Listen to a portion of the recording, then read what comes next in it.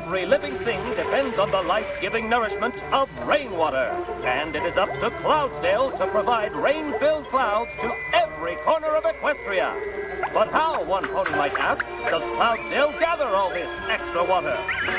Tornado power! That's right, Pegasi-driven tornado power. A team of Pegasi combine their wing power to create a jumbo tornado, powerful enough to pull water out of the local reservoir and funnel it all the way up to Cloudsdale. Remember, Pegasi, your jumbo tornado must reach a minimum of 800 wing power to lift that water up to Cloudsdale.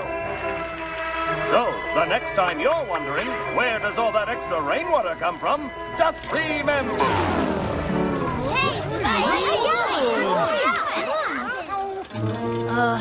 Intermission?